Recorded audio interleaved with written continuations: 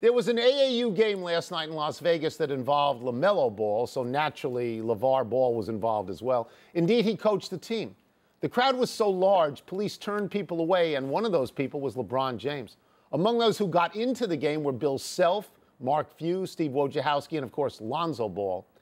800,000 people live streamed this game on Facebook.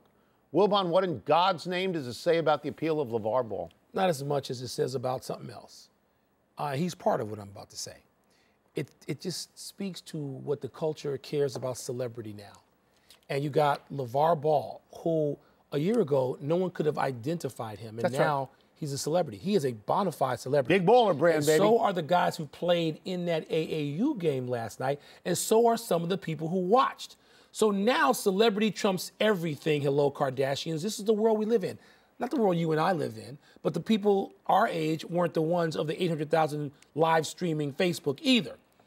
But it says something, Tony. And the NBA and all of basketball is prospering because of this, because it's about celebrity, not football, not even baseball. Basketball and soccer worldwide have celebrities. And that is what LaVar Ball is plugged into, and he is really making it work. He is. LaVar Ball is a marketing genius.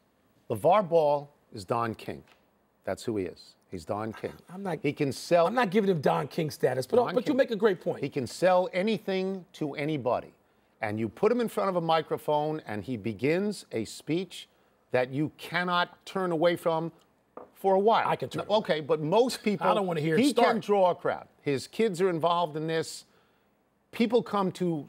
He, he calls them. It's the siren song to people, and he calls them. I, look, I'm not going to sit here and pretend I understand what live streaming in, is.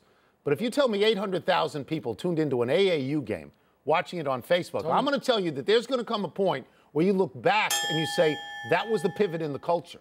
That something think is already got there. something's happening, and Tony, not it's happening. We don't. you and I don't maybe understand it. Summer League, some because it's basketball, but more because there's celebrities like Lonzo Ball and some of these players who have come out this year. They have been talked about all year. They're celebrities. And by the way, LeBron and Kyrie with beef, that's like, that's replaced the- the housewives of whatever, Potomac, LaVar- Orange County. These people Le- are celebrities. And that's what people care about. You know about. what? And it's better than the NBA season. Not better than the playoffs. it's better than The the, regular season. And the big baller brand that his own kid won't wear. Yeah.